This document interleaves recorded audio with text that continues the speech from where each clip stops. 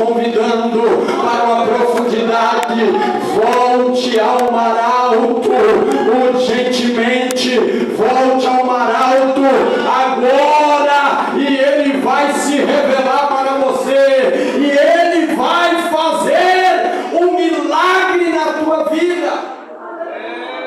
Porque para receber aquilo que Deus tem, é preciso ter estrutura. Tem pessoas aqui